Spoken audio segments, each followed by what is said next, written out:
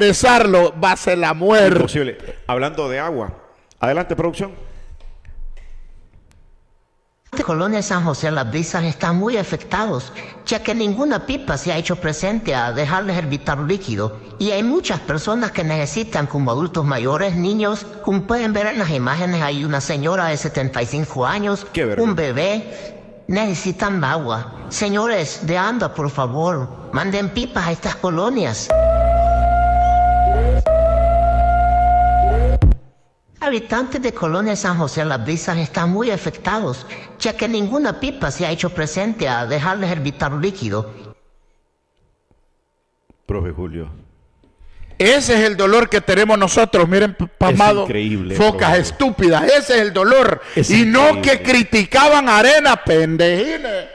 Es increíble. Estúpidos, focas imbéciles. Miren Este lo que ustedes iban a arreglar.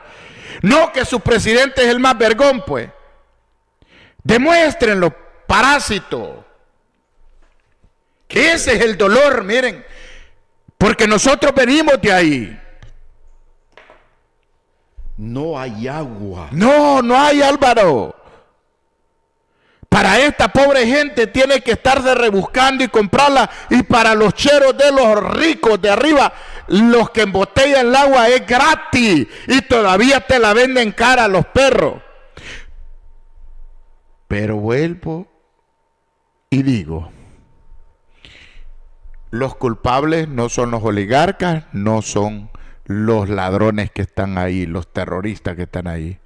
El culpable son los pendejos que lo pusieron. Así que disculpen.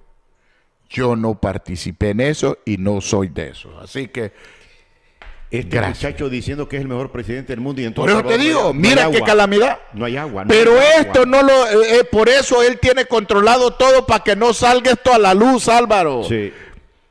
Si el- mira, el día que ellos quiten el régimen de sección, Se será una matazón de foco.